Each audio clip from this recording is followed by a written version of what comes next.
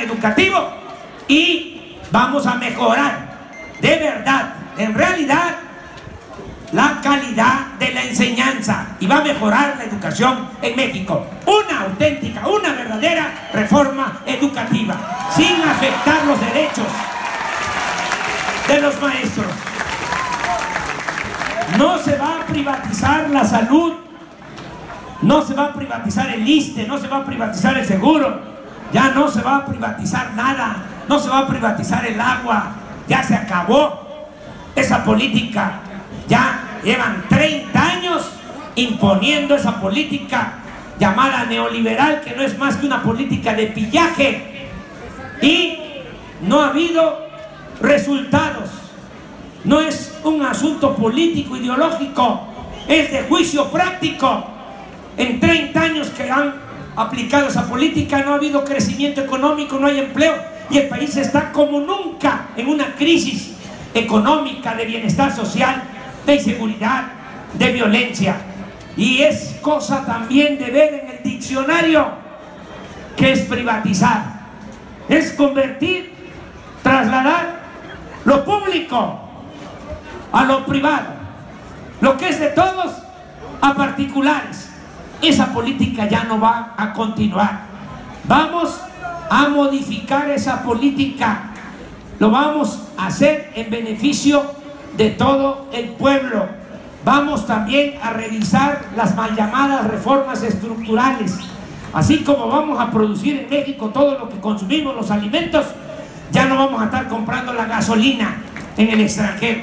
Vamos a sacar de el hoyo a la industria petrolera y a la industria eléctrica. Se van a rehabilitar las seis refinerías que tenemos.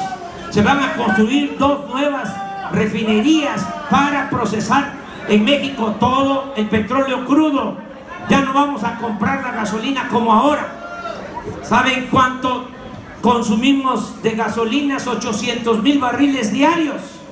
Se producen nada más 200 mil barriles, porque desde hace 40 años los de la marcha del poder no quieren que se construya una nueva refinería. Desde hace 40 años se compran 600 mil barriles diarios de gasolinas. ¿Quién tiene ese negocio? La mafia del poder. Así como existen los guachicoleros de abajo, los que ordeñan los ductos, que se roban la gasolina, existe, nada más que no se habla de ellos. Los guachicoleros de arriba. Cuando triunfe nuestro movimiento no va a haber guachicol abajo, ni va a haber guachicol arriba. Se va a acabar. Y si alguien se dedica al guachicoleo, les digo que ya lo vayan pensando. Van a tener trabajo bien pagado. Ya nadie va a tener necesidad de estar ordeñando los ductos para buscarse la vida. Va a tener trabajo y va a poder salir adelante honradamente. Ese es el compromiso que vamos a hacer. ¿Qué es esto? Imagínense, la gasolina en Estados Unidos, 12 pesos el litro. Nuestro país, la más barata, 17 pesos. El salario en Estados Unidos, 10 veces superior a lo que gana un trabajador en México. Acabo de estar en Tapachula, en la frontera con Guatemala. En Guatemala no tienen petróleo y es más barata la gasolina que en México. Es un absurdo. Todo por la corrupción que impera, que reina en nuestro país. Vamos a poner orden. Vamos a producir en México todo lo que consumimos. Vamos a fortalecer el mercado interno y va a haber bienestar. Yo termino nada más haciendo el compromiso de que llegando, llegando, van a aplicarse dos programas, el de los jóvenes desde los primeros días y desde los primeros días el nuevo gobierno, porque hay otros programas que van a llevar más tiempo, pero desde los primeros días va a aumentar la pensión a los adultos mayores al doble de lo que reciben en la actualidad.